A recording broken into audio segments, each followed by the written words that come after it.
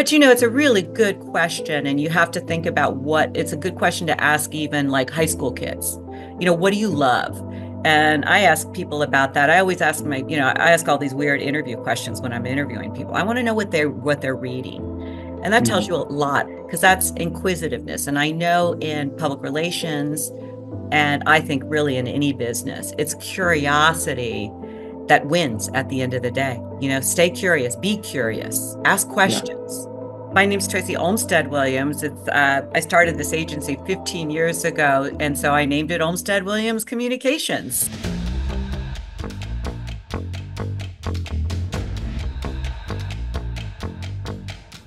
Welcome to the Break Free podcast. I am your host, David Mansella.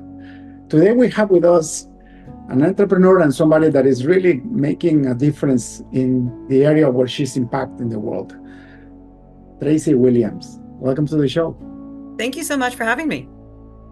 Uh, Tracy, you know, I've listened to many podcasts throughout my life, and a lot of people come with a, a pre recorded script of all the achievements of their guests.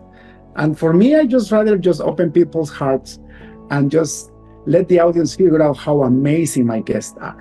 So let's start with your name and where do you live and what do you do for a living? Okay, my name's Tracy Williams, Tracy Olmstead Williams. It's uh, I started this agency 15 years ago, and so I named it Olmstead Williams Communications. So, um, for lack of, a, of, of something more creative, I live in Los Angeles, uh, California, and it's actually raining today, so we're very excited. Since we don't get very much rain. Um, and I've been living in LA um, a couple of decades now. I was an East Coaster from Washington, D.C. and New York.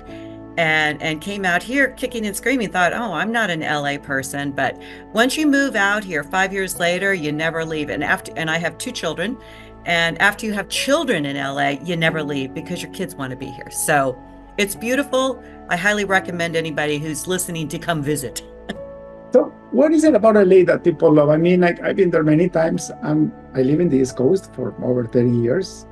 Yeah, the weather is gorgeous, yeah. right? Uh, the scenery is pretty nice, but then you have everything else. like you know, it's so funny. I, I don't know if I ever saw it this way before, but seeing it through the eyes of visitors, it's this possibility. And it is pretty funny how we just take for granted going in to get a coffee at a Starbucks or at a restaurant and you know the town is filled with people that you will see on television or movies. And right. and they're around living among you. Um, and so i think there's that sense. There's the history of hollywood. Um, there's the tech sector here.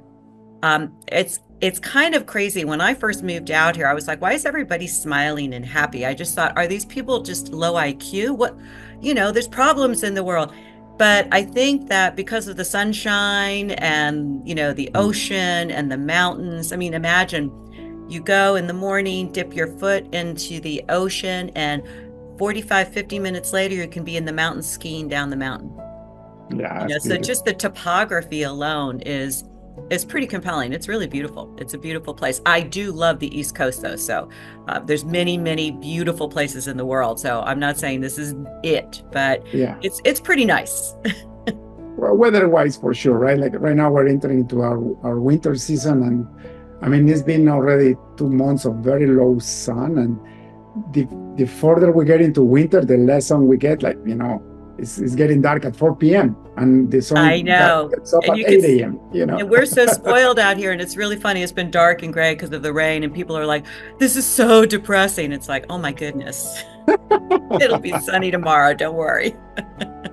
So, what is your business about? Tell me a little so, bit I'm sorry. Yeah, I, I, totally skipped over that. Um, I have a public relations agency, and I've been doing public relations, reputation management, crisis communications, and of course now a lot of social media as well, because you have to cover all of these areas. Mm-hmm. And I, when I started this agency, I founded this agency. I ran a, another agency before I founded this agency 15 years ago, and I founded it during the recession. It was 2008 uh, which is mm. either the worst time to start or the best time to start. And I just tried to create a very positive, optimistic attitude that it is the best time to start. Mm. Because for a long time, I was in agencies where you're always saying to clients, well, public relations doesn't necessarily generate sales. You have to do this, you have to do that. And I disagree. public relations does generate sales. Public relations generates revenue, and public relations generates investment in the company. So, companies that are trying to generate revenue, attract investors, uh, look at selling their company, um, trying to build stronger ties with shake with stakeholders, and then of course with the media, they should be doing public relations. And the thing that I always am trying to get people to understand is that public relations is the least expensive tool in the marketing makeup. You know, you're not paying. You're paying for the help of the PR practitioners, but you're not paying any media fees. You're not mm. paying advertise. You're not paying social media placement fees. That stuff grows really quickly for a company and enterprise. So, you know, and you're always measuring engagement, what people are seeing.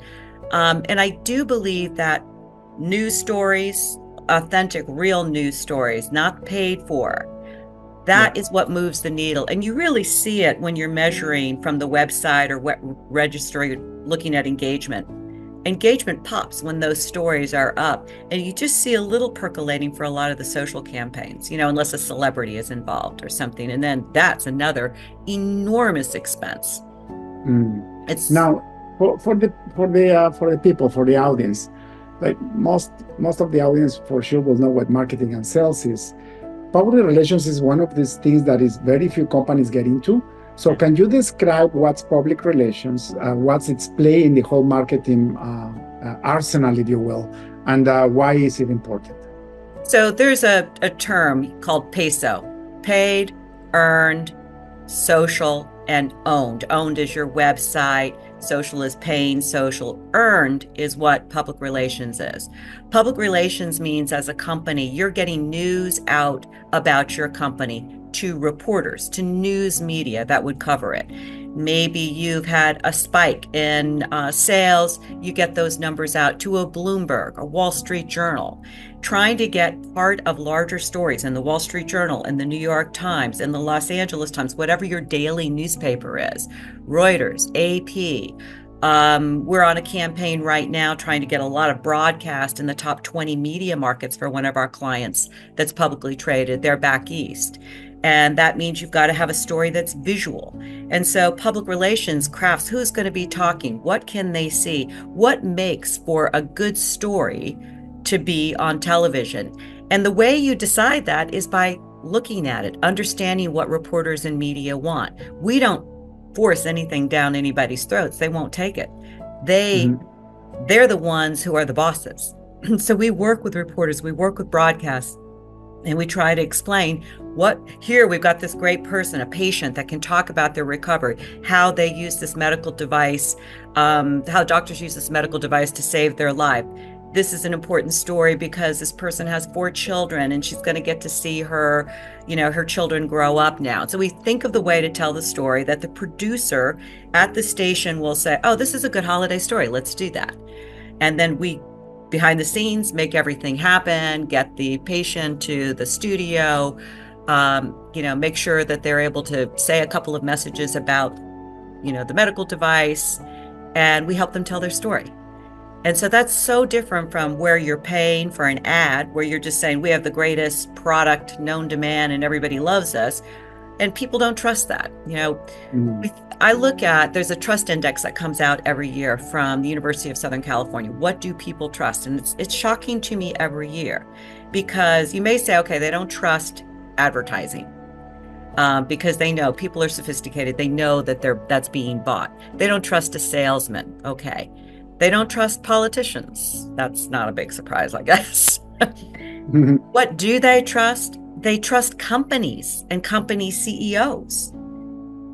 So that means companies, businesses have an opportunity. People people trust them. So what we say about ourselves, if we have data about our employees, uh, we are looking towards diversity and inclusion, and we want to uh, we want new employees to come in. We want them to feel welcome. That's a story. Uh, we have a story about metrics showing that we're seeing a spike in revenue because people seem to like to do these activities that require our product. So it's just information. You're not trying to say, write a story about what a great company you are. We're writing a story that goes along with people's lives. And what people are interested in. So that's the area we work in is is you know, our we own it or we're earning it. And we earn it through creative storytelling. And you know, a lot of people say we're storytellers. We're storytellers, but we're telling a story that is relevant to news media. Yeah. Plus you have to have the relationship with that news media so you can get your story placed, right? Well, you think that. I think you have to have a good reputation in public relations. Um, you know, we have a pretty good reputation, and I do know reporters because we've been pitching them for years. And, you know, but reporters aren't going to be your best friends necessarily because they have to be skeptical. And we're mm-hmm. aware of their skepticism. In fact, I really respect skepticism.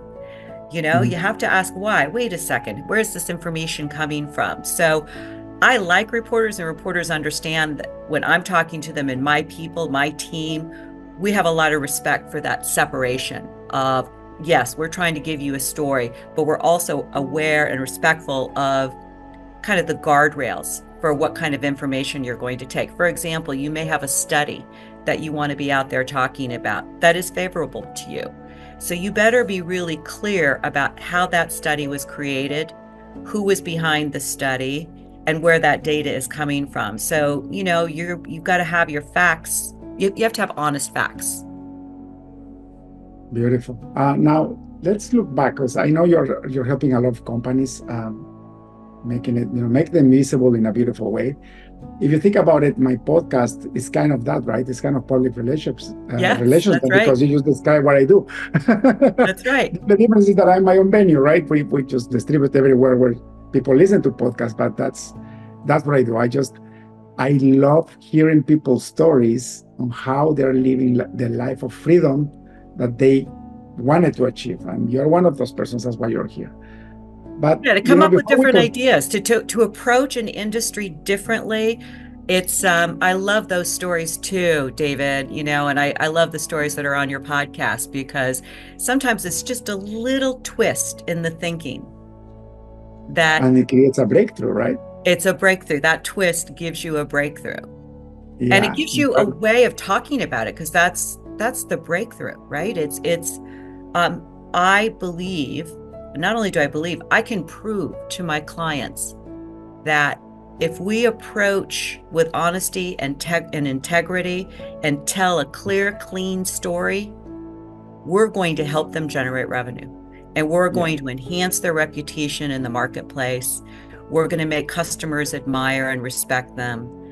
And we're also going to be there when crisis hits, because as you know, um, one of the most challenging things for a lot of companies right now is getting caught up in kind of the culture war crosshairs.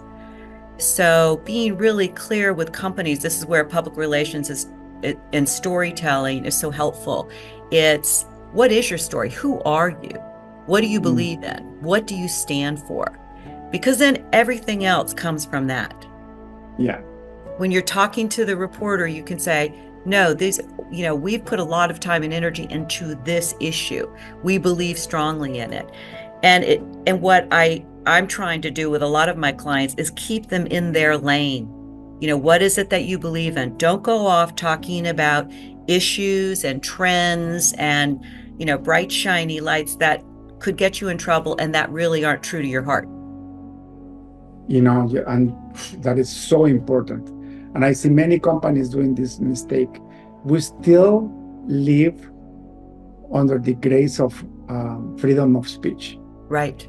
And for me, what that means, and any freedom actually, my freedom ends with somebody else's freedom starts. Right. I have followed that all my life, and that's why I have a life of freedom. Yes. And to put it in plain uh, illustration, if my backyard starts touching my neighbor's backyard, I'm not allowed to go to do whatever I wanted to do in their portion. It doesn't matter if it's an inch, it's not right. my backyard anymore. So I can plant whatever I want in my backyard, but I, I will not, I make sure that they don't even get the leaves that follow my trees in their backyard. That's right. because right. I'm respecting their freedom too. And that's what freedom of speech is about when and and so i have the right to believe whatever i want and to speak it in a way that is still respecting That's right. the person that don't believe what i believe right and it's, it's very important. That's why and that's why public you know public relations It comes is, because then you set the frame, right? it's also choosing sometimes to not speak. I mean, sometimes we may have some very strong beliefs about an issue, but it doesn't have anything to do with our business or our people. Yeah. And so you could talk about that with your friends, with, you know, your family. You can have lots of strong opinions about politics and issues, but it's it's more that should some of that should stay within you as an individual and not with you know always always feeling like companies have had this problem in the last few years of always feeling like they have to signal that they support something or don't support something Yeah. and i just want to say well what do you do you make this this is your service let's talk about your service Mhm. don't go over there. You don't need to. Yes, you could generate a lot of publicity for one day, maybe, but then you get a lot of backlash. And I think the worst case is companies do this as a way to raise awareness for themselves and um, as opposed to raise awareness for their product and what they do. Mm. So stay focused on your business, stay in your lane. That's true. And the lane is also your people. I mean, there's a lot of people issues in employing people. So it's very important to me that I communicate with my company, the people in my company, um, what our values are, and you know that we share those values, um, and we and we feel about them. But it's not like I'm going to go write an op-ed about every issue that goes on, you know, with individuals and people. You, you know, um, the problem is social media, honestly. With the advancement of technology and the creation of social media, people think they can just go and say whatever they want. Yeah. And they don't care about insulting or hurting anybody.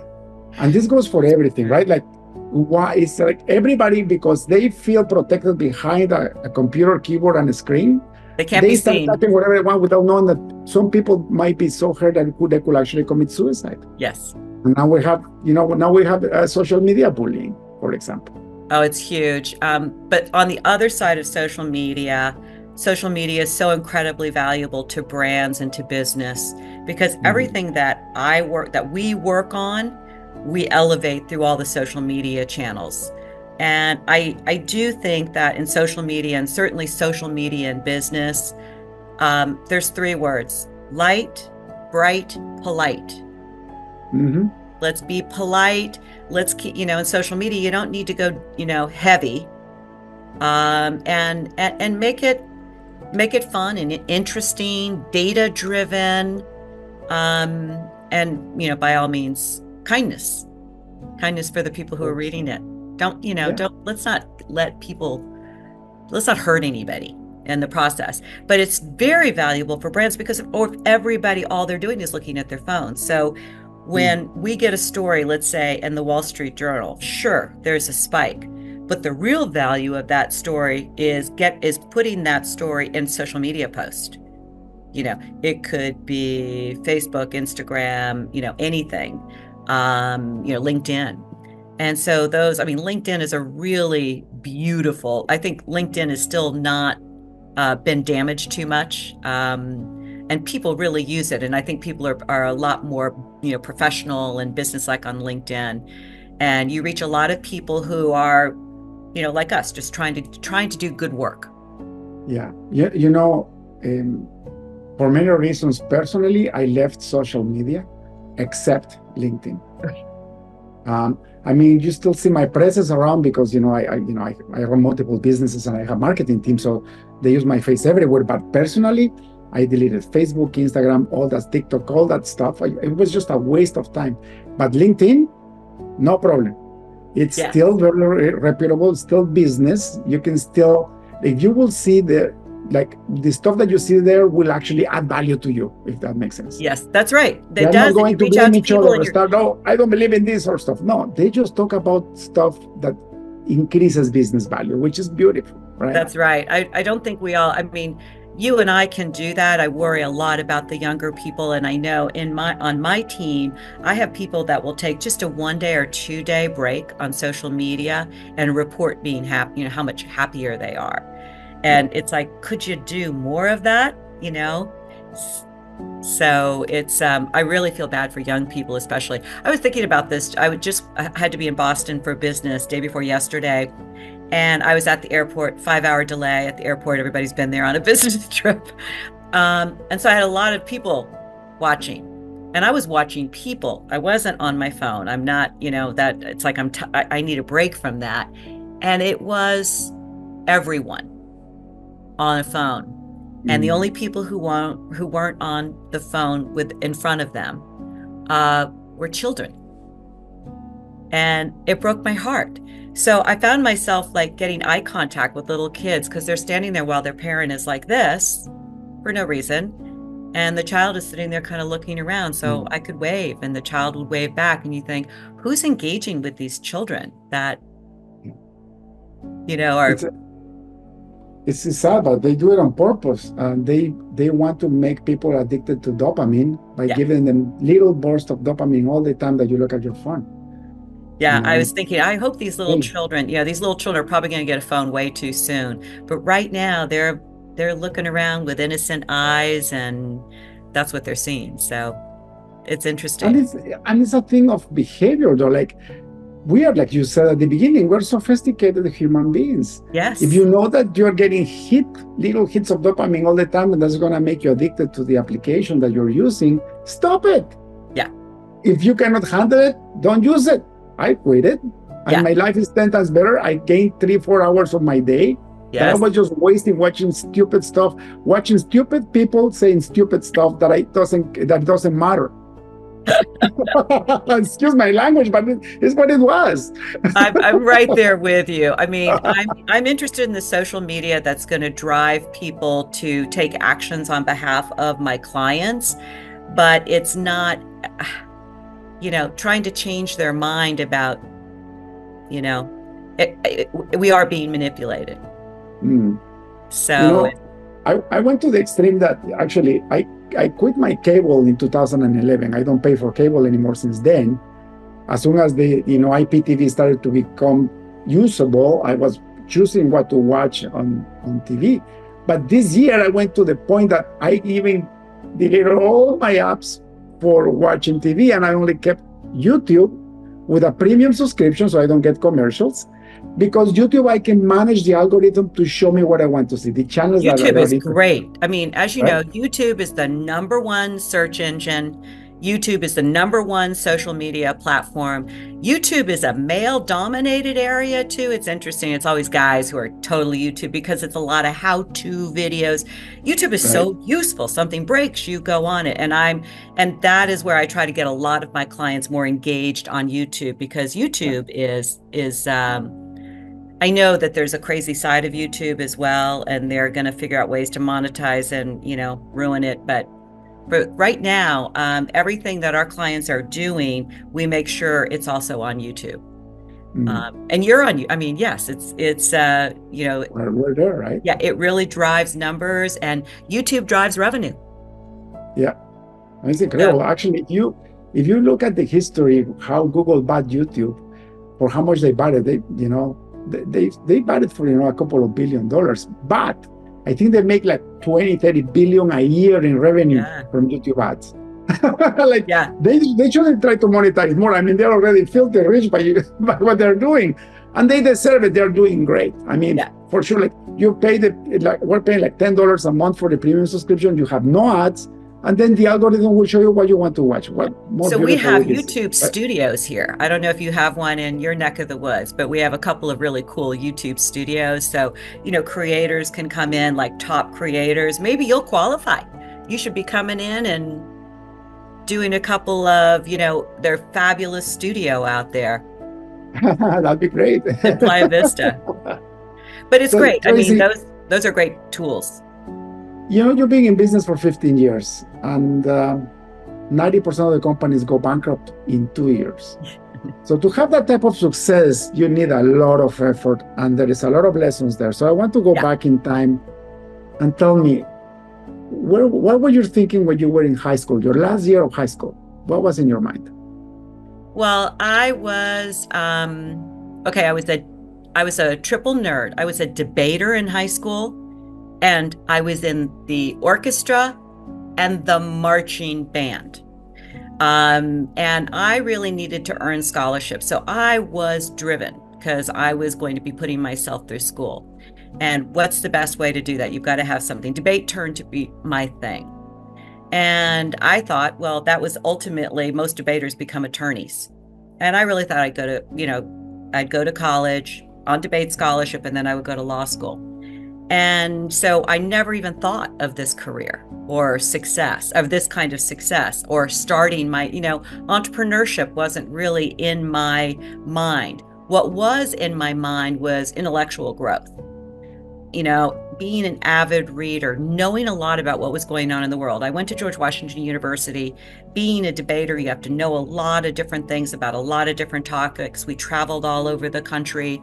Uh, you know, we spent weekends um, on debate tournaments. You know, that would be Friday, Saturday, and Sunday every other weekend. So it's a real interesting path, and you just are learning about all kinds of, you know, issues, product safety. We were reading um, things from the congressional record, you know, all of that, learning how to research, learning how to write, learning how to think. And all of that brought me to this other thing where, in, before I went to law school, I went to work for a company called Hill and Knowlton, a really big PR firm in Washington, D.C.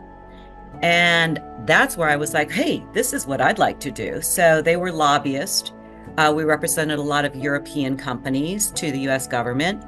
And what I learned is being able to process information quickly in your brain, be creative, um, and be able to ar- be articulate you know, set up an argument, set up a discussion. And I don't mean an argument like a fight. I mean three lines of analysis to, um, you know, change a change a point of view. Mm-hmm. So creating compelling arguments to change perspectives was my DNA. So you can say, is did I start out thinking that's what I was going to do? That's a little abstract, right?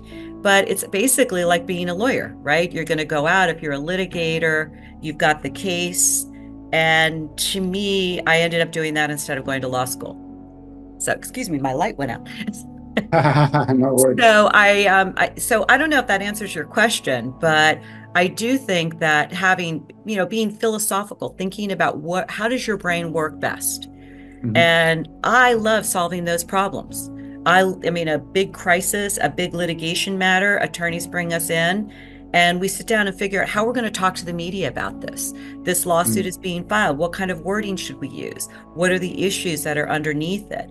So, having that kind of inquisitiveness about an issue, about a company, that's that's I think what we're how we're different, but I think it's also how I really was able to use the kind of brain I was blown I was born with. What what a beautiful gift to, to know what uh, your abilities are and use them to the best of your advantage and to bless the world with your abilities. I believe that, you know, the Lord has given us different skills to different people and we all become like we all become a family that uh, contributes that skill back to the world and that's how you gain your value if you live in the free world if you're blessed enough to live in north america for example oh so right? true yeah i know uh, that that's so, so true but you know it's a really good question and you have to think about what it's a good question to ask even like high school kids you know, what do you love? And I ask people about that. I always ask my, you know, I ask all these weird interview questions when I'm interviewing people. I want to know what they're what they're reading. And that tells you a lot. I mean, I don't care what they're reading, but you know, I want to know that they're reading because that's inquisitiveness. And I know in public relations and I think really in any business, it's curiosity that um that wins at the end of the day. You know, stay curious, be curious, ask questions. Yeah and you know, for the audience out there, maybe for the younger audience, the fact that you are not good at something, but you love it or you're super curious about it, it will give you way more success than just pursuing something that is simple or easy to you that you may not like that much. I'm a clear example of that. You know, I went into computer science school, the best in the country, and uh, I had five other friends, and I was the worst for coding and for computer science. I was the worst. like they had to, like my other five friends had to spend time with me explaining to me three times what the professor was speaking. But then guess what happened? My persistence and my curiosity got me the number one. I was the number one out of all of them. Yeah. And if you look at the now that we're adults, like grown adults, out of the five, six of us, it's only me that runs uh, software when many software companies. Uh, so it stayed in computer science. And the second worst, which was another my best friend, he runs the production department for me. So he ah. works for me and he runs delivery, right? He's the VP of delivery and operations. So that tells you the difference between me and the other guys was that I will not take no for an answer. And I, I was in love with the technology. I was in love with the idea that I could automate things. So they could actually do the homework maybe five times faster than I did. But when I did it, you were you were thinking about theirs. why. You were thinking about why. I mean that that feels very much like my standard client meeting. I'm usually sitting there and I'm not on my computer. I'm listening to them and then I'm asking them questions and I see this even, these are the people I want to hire. I was in a meeting on Monday and this young woman kept asking these questions. I'd say, for every 10 questions, five were completely inane and wrong. But then there would be five that were searing. You know, it seemed like a simple question, but to answer it was going to take some effort. So, you know, out of the mouths of babes and then just out of the out of the mouths of a curious person who ask a basic question where you see a room say, "Well, everybody knows the answer to that." Which then my response is, "Oh, good. What is it?" And they can't respond. They can't articulate that. And I think that's what communications is so fantastic at. That's why I love communications. Okay, how can we say that in 5 words or less? Mm-hmm. You should never be you know, somebody asking you about your company or your business, you shouldn't be stuck. You should have all of that right there. And that requires some thought and work. It's not that easy. Yeah, that's for sure. Um, what was the transition between uh, being an employee and running your own business? Number one, how did you get inspired to run your own show? Uh, you know, it's the most it's the most courageous thing for a human being to do. It really is jumping through right? As it's really jumping that fire. It's that it is exactly as so many books describe it. You know, you're you're running off the bridge and there's all this fire and you got to hit the other side. So there was a couple of days that were that was very very scary like that. Um, and there's a lot of books who write about this, but I'm here to tell you that it it doesn't have to be scary for long. But mm. there is fear, and it's kind of like anything else when you're you know anything you're going for that you want and are passionate about um, i mean when you get married it's scary when you have children it's scary um, you know the, there's a lot of scary things that we do and overcome and obviously there's joy and all of that affiliated with it but the same thing for starting a business it's scary like having a kid and you mm. just have to to push through and and and get to the other side and at that point, at, at the after the fear is over, you're too busy to be afraid anymore, because mm. you already have before you go, you've already have a plan in place. And I had a long list of all the things that I knew I needed to do in order to succeed. Because I've been in the business a long time, have to develop new clients. There's about 100 things you need to do to develop new clients. There's books written about that. So, what are the five things that are most important to getting new business in my kind of business? Um, how many contacts are you going to make in a day? Um, outreach to people. I mean, I wouldn't end my day without having called 10 people that I spoke to, literally had a, a, phone conversation with, if for no other reason than to just say hi. So, all of those little touch points, I still think about all those things. I think about all the touch points that I need to make in any given day. Um, and that could be a phone call, it could be, oh, email, responding to an email right away. Take the mm meeting when they offer the meeting, don't put it off. Um, I really see that that's how I was wired to do okay because I also saw in my life people who were in larger group, larger agencies got I don't know. I don't know. I always felt people were a little fat and happy. You know, the client would want the meeting and they'd say, oh, I can't do tomorrow. Let's do next week. That I was, I was like, never tomorrow we do it you know we do it you know and to me that's client service and it's also crazy not to i always want to be the one who says yes so mm. um, it's a lot of you know learning to say yes and just take it and realize oh yes i have eight things to do tomorrow might be a little crammed but you can always fit it in mm. And everything that you think, oh, you know, I have to emotionally prepare for this. No, you just jump in and you do it. So I have well, a real it, get it done kind of attitude. Isn't it crazy that everything comes down to mindset and the willingness to yes. succeed and do whatever it takes to actually get there. Do whatever it takes, and I'm not saying criminally, but but I mean no, sometimes, sometimes you have to work late. Sometimes you have to get on a flight to Boston in a rainstorm and be stuck at an airport for six hours. Some, you know, you you have to do things that that are um, that are sometimes physically challenging.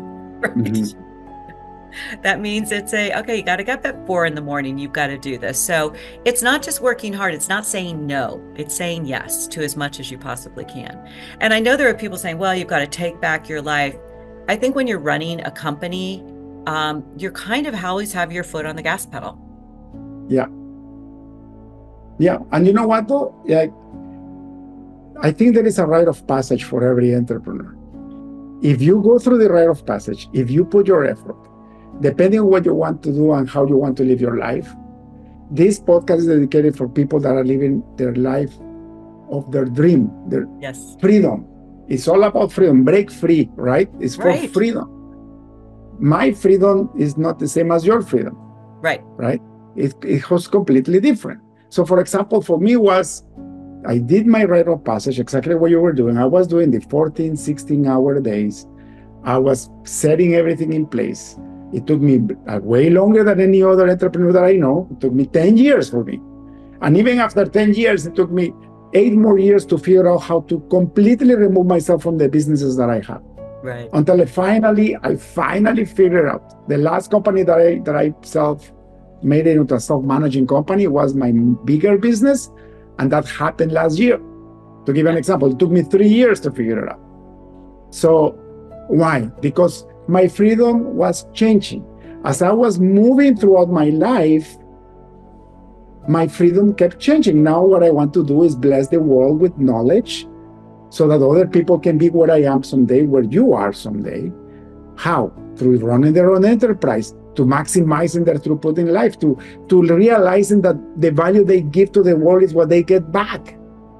I have, you know, so right? interesting you're talking about this because people always say, oh my God, Tracy, you're always, you know, got your foot on the gas pedal. Don't you ever just want to coast?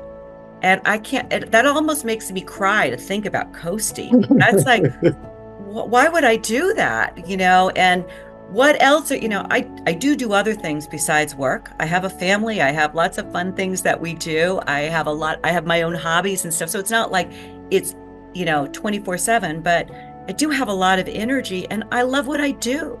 So mm when people say, well, don't you want to pull back? And it's like, why? That's like, it's like you're mm not going to finish the steak you were eating. You get a piece of lobster and you only get one bite. No, I want the whole lobster. So yeah, it's true, you know, and, and and that's the thing. When when you love what you do, you will never work a day in your life. Yeah. Because it's not work, it's fun, right? Like for me, for example, okay, I conquer the computer science world. I, you know, I run six technology-based businesses. I have a real estate business. You know? I wanted to go back to my faith. I wanted to bless the world with knowledge, with people. Uh, I, I run three podcasts now. One of them is a Christian podcast because I'm a man of God. So, and then I run these other two business podcasts because I love hearing stories like yours. That's my new freedom. Yes. But I can only be there because I did my grinding before, yeah. but while I was doing my grinding, I was enjoying it too, like you're enjoying it because that's what I love to do. Yeah. That's why I quit my, you know, my high salary paying job, my corner office. I went very high in the corporate world in IT. It was still computer science, but I felt trapped. You see? No, I but understand. I mean, I. I have an exit strategy, David. So my exit is um, in retirement. I want to play piano at the Ramada Inn and sing. really?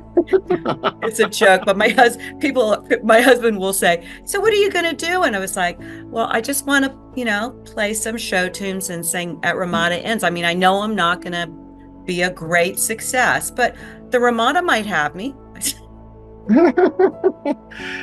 uh, you know, you know, I was always uh, going out with one of my clients, which is one of my best friends we would go out like every four, or five times a year and just talked about retirement. And I remember how the conversation changed. Um, for me was, I you know I love uh, scuba diving. I, I love getting into the water. I love working out. I, I, you know I used to love coffee. I used to love you know like you know you know you know a scotch or you know a fine fine fine alcoholic drink. So you know I was telling him okay when when I really get the money that I want, I'm going to open a gym and then I'm gonna have a coffee bar and then a scuba shop in a beautiful place in front of a white sandy beach in the ocean. And that's I think my retirement. That was my that was my idea in 2014. In 2014, uh, you know, I became financially independent. So we were still traveling with my wife throughout the world to see where we were going to retire. After five years of traveling and, and, and seeing beautiful places, we realized that going back home was our dream. Being in the you know being in where we are is our dream. Yes we can take small vacations but not retire to do that stuff that if you do that stuff that entertains you and it becomes a job you ruin it. I know. Don't make it a job. It's just it's just got to be fun. I'm I, am i am with you 100% yeah. And imagine if i were to follow that i don't like alcohol anymore i don't drink caffeinated coffee anymore. I just have a decaf coffee a day. Like all those things don't don't fulfill me anymore. Imagine yeah. the waste if I would have pursued that. yeah, and you know, and and my voice is going. So my I don't know if I'll be making it to even the Ramada Inn anymore. It may have to be. I may be on the promenade in Santa Monica with a keyboard. you know, it's amazing. Uh, you know, 40 minutes went by so fast. I would love to respect your time. Um, I'll ask you one last question before we end the podcast. If, if you had access to a billboard in front of the busiest highway on earth, which is probably in, in LA, what would you write on it?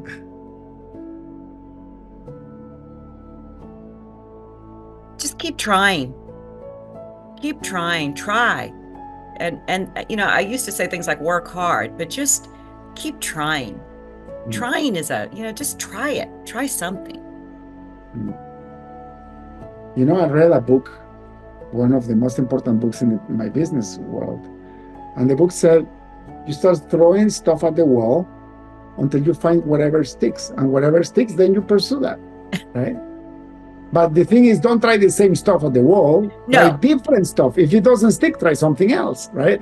right, right. But I just think people, I feel like everybody kind of gives up when things get hard and things can be hard or you can get you know social media gets you down or you feel like you're you know a lot of young people have you know depression and issues coming out of covid and i just i want to see people a little bit more energized and and just mm. trying um yeah. you know life the downside of life is there everywhere it's always going to be there mm. and you know we're all going to die so it's true the minute you're born is you know you you have a death sentence in, in front exactly. of you we all die. It's part of life. It's natural.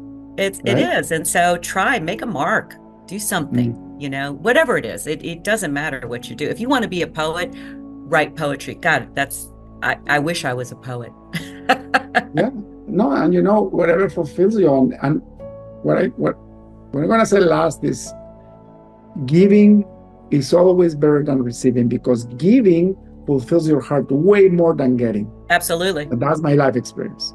A hundred percent. I I I really see that. It's like it's one of the best parts about running this company is doing for the employees, doing stuff for them. That's like the best part.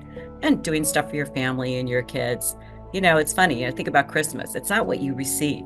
It's the most exciting thing is to look at somebody's face when you've, you know, gotten them something that they really want or, you know, brings joy to them. That's the happy part. For sure. Um, Francis, thank you so much for being in the in the show. If people like to hire your services, uh, where can they find you? OlmsteadWilliams.com, Tracy at OlmsteadWilliams.com. We are one of the top 100 agencies in the United States, according That's to PR News. So we're yeah, so we're out there and we're in Los Angeles. And the thing about trying is I take every call. I, I, you know, I'll talk to anybody. I talk to crazy people sometimes, but I'm happy to talk to people. Wonderful. One of the things that why the kids are depressed nowadays is because they don't know how to socialize. They think socializing is writing a comment on a social media post. What they need to do is learn how to go and interact with people and have real conversations. Yes. You know? And the and the, the uh, and banter is something different you know being you know being clever in a conversation you got to be able to you you should have read a book that you could talk about or seen a film or what do you think asking questions yeah. um, which is the best part. That's probably that's actually should be my billboard. Ask questions. Ask questions. You can spend right. five hours doing nothing but asking questions and learn a lot. Keep trying and ask questions. That's right. That's it Tracy, thank you so much for being on the show. Uh, God you. bless you. Have a beautiful rest of the week. And um, I'll see you around. Same to you. Thank you so much. Cheers. Blessings. That's all for today's episode of the Break Free Podcast. Head on over to iTunes and subscribe to the show. Starting your own business can be tough, but it doesn't have to be. Visit davidmansilla.com to pick up a copy of the number one international best-selling book, Breaking Out of Corporate Jail expand what you consider to be possible, and reach your full potential. And join us on the next episode.